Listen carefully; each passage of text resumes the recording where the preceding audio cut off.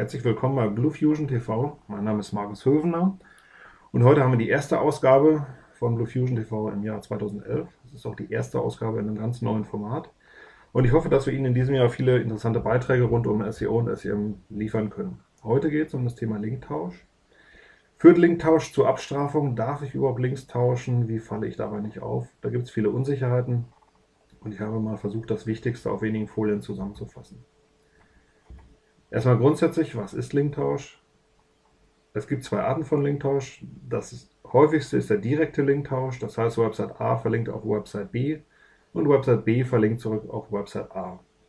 Das müssen nicht unbedingt die gleichen Seiten sein, aber es müssen halt die gleichen Websites sein. Algorithmisch ist das alles für Google sehr leicht zu erkennen. Google hat alle Linkdaten aller Websites und insofern Websites A und B im Google-Index vertreten sind, was sie in der Regel sein sollten, ähm, kann Google das natürlich auch sehr leicht erkennen. Was sagt Google dazu zum Thema Linktausch? Früher äh, hat Google gesagt, dass Linktausch, neudeutsche Reciprocal Linking, dass man das vermeiden sollte, dass es zur Abstrafung führen kann. Mittlerweile sagt Google, weil Linktausch normal ist, sollte man nur exzessiven Linktausch vermeiden. Linktausch ist deswegen normal, weil man sich immer mit Partnern verlinkt oder es gibt ein Branchenportal, was auf ein Unternehmen verlinkt und das Unternehmen verlinkt aber an anderer Stelle vielleicht auf das Branchenportal zurück. All das ist natürlich normal und passiert auch tagtäglich. Und deswegen darf man Links tauschen. Man sollte es eben nur nicht exzessiv machen. Google hat sich leider nicht dazu geäußert, wo diese Grenze ist. Also was meint jetzt wirklich exzessiv? Meint es eine hohe Gesamtanzahl an getauschten Links? Meint es einen hohen Anteil an meinen Links? Wir persönlich glauben, Linktausch ist natürlich immer eine Frage der Relation. Wenn man sich das mal aufmalt, ich habe mal zwei Kreise gemacht. Das eine ist die Menge der eingehenden Links meiner Website und das andere ist die Menge der ausgehenden Links. Und dann habe ich eben eine klare Schnittmenge. Das sind die getauschten Links, die direkten getauschten Links.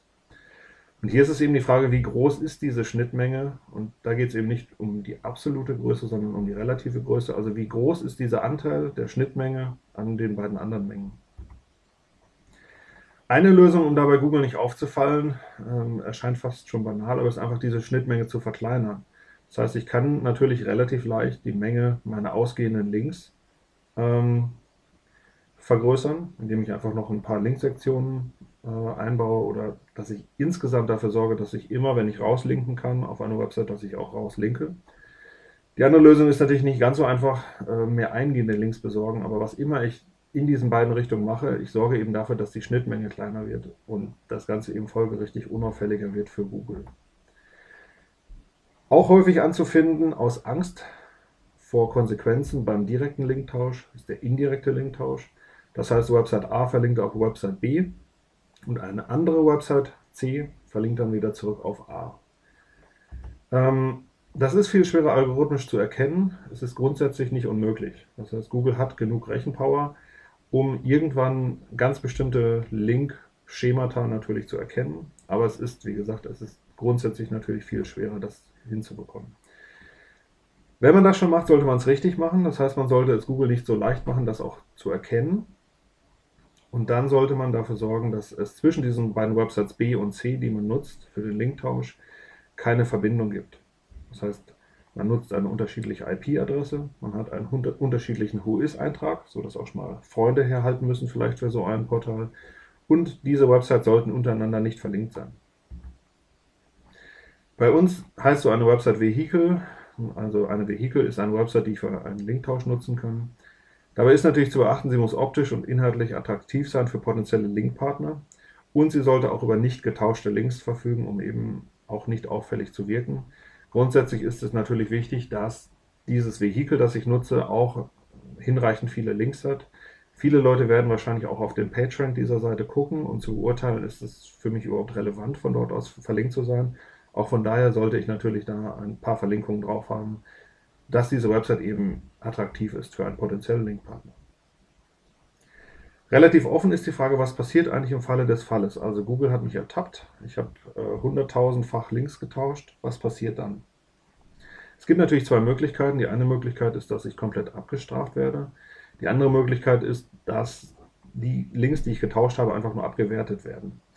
Im Moment tendiert Google meiner Meinung nach eher zur Lösung A, aber in Zukunft könnte das natürlich äh, auch ganz anders funktionieren. Ähm, mir persönlich sind allerdings relativ wenig Fälle bekannt, wo wirklich abgestraft wird, ähm, sodass es, wenn man sich an die vorhergehenden Tipps hält, ähm, dass es relativ unwahrscheinlich ist, dass ich damit auch wirklich auffalle. Mein persönliches Fazit, ähm, erstens, Linktausch ist nicht schlimm, es ist ganz normal, dass man Links tauscht. Wir kriegen relativ häufig Link-Anfragen von anderen Webmastern, die da sehr starke Meinungen zu haben und geradezu eine panische Angst haben, äh, überhaupt nur einen Link zu tauschen. Wie gesagt, es ist immer alles eine Frage der Relation. Machen Sie es nur nicht exzessiv. Ähm, übertreiben Sie es einfach nicht. Das Ergebnis wenn sie denn damit auffallen, muss nicht unbedingt eine Abstrafung sein. Es kann, wie gesagt, auch so sein, dass ihnen die getauschten Links nur aberkannt werden. Das ist natürlich auch nicht wirklich gut, aber von den beiden Möglichkeiten ist es sicherlich die etwas bessere. Und wenn Sie natürlich langfristig Links tauschen möchten, denken Sie auch über ein Vehikel nach, um unauffälligen indirekten Linktausch machen zu können. Das war's für heute. Wie gesagt, mein Name ist Markus Höfner. Meine Kontaktdaten finden Sie hier, wenn Sie mit mir noch diskutieren wollen. Ansonsten freue ich mich, Sie beim nächsten Mal wieder begrüßen zu dürfen.